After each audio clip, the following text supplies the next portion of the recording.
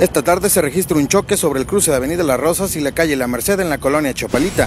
En este punto, un automóvil de alquilar y una camioneta Volvo de lujo se impactaron en este cruce, lo que está generando tráfico ligero en este punto debido a que los vehículos quedaron obstaculizando el carril para los que van de López Mateos con rumbo hacia Avenida Mariano Otero.